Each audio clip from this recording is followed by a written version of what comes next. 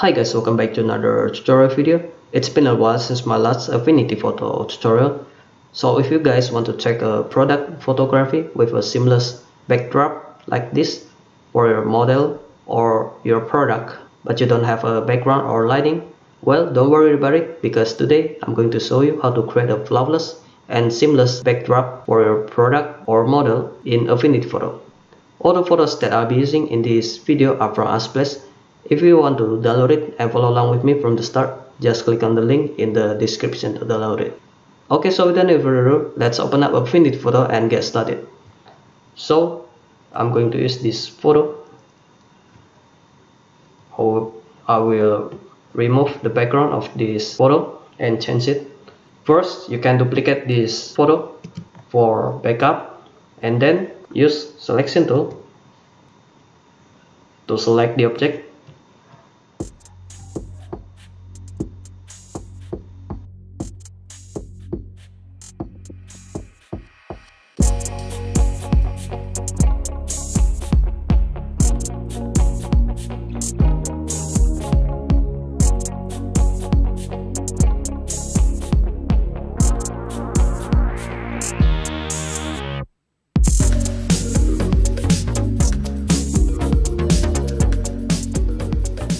okay after that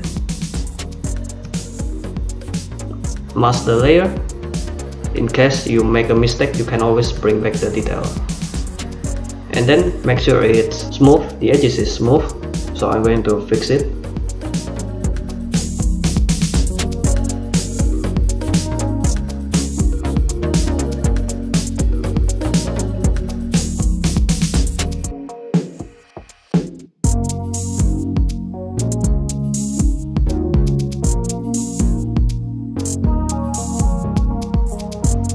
okay I think it's good enough. Next we're going to make the background.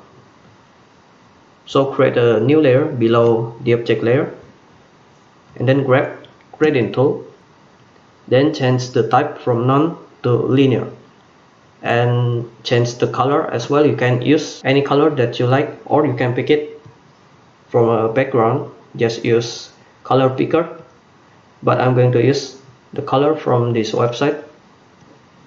Okay I will put the link in the description if you want to use it as well. Okay I will use sexy blue color.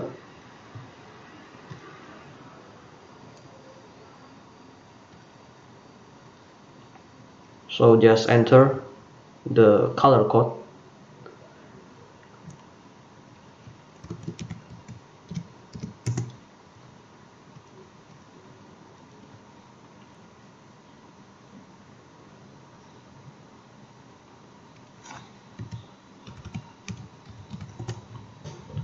after that because the light of this photo comes from the right side so I will put the brighter color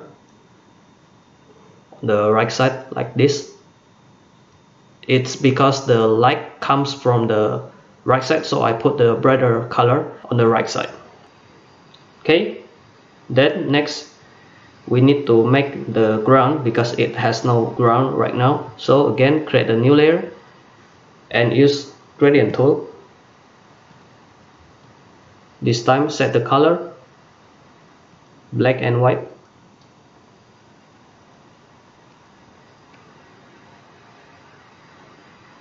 Okay and put white color on the ground.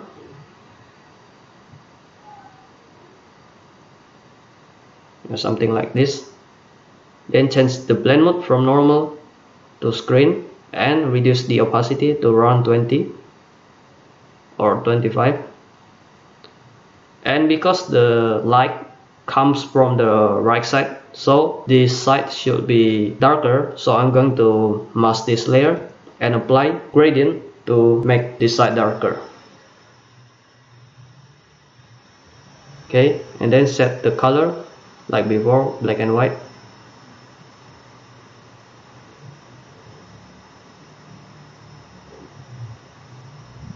and make it like this.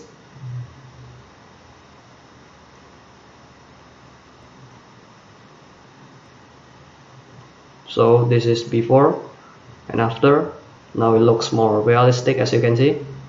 And next we're going to make a shadow for this object.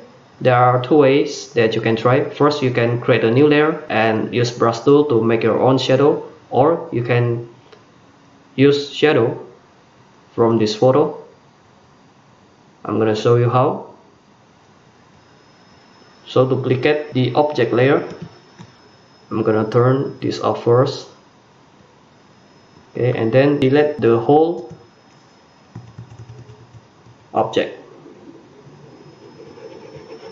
Okay if you want to delete it make sure the foreground color is black.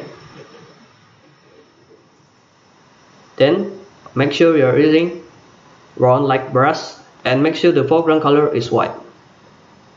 Okay then I'm going to make the object visible again. And just pan over the edges to create the shadow like this.